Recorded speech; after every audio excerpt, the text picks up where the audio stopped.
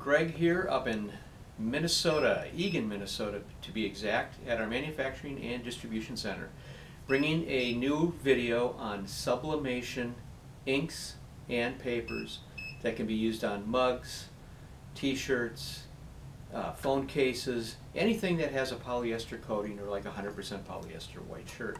Submite paper. The paper comes in 8.5 by 11 and an 1117 and the ink is a cyan, magenta, yellow, and black which comes in a 140 milliliter container to be used in Epsons that are the bulk fill, which will save you a lot of money instead of cartridges. So, we took our 8.5 by 11 paper, we're going to be doing a mug.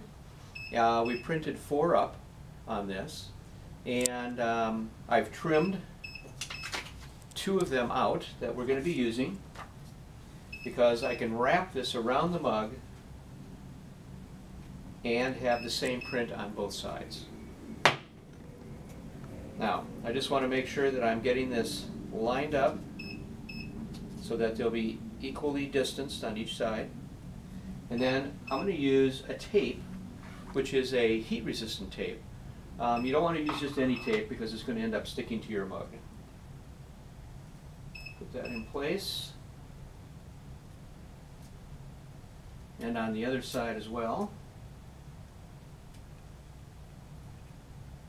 and place it in your mug press.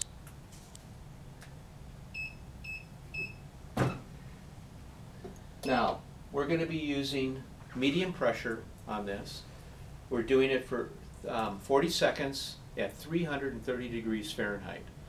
Now, the big thing is, is that all the instructions for when you're talking to figuring out what your temperature is, what your time is, that all comes from the supplier of the mugs, the supplier of the t-shirts, the supplier of phone cases, because we're using the same paper and the same ink on all of those different substrates.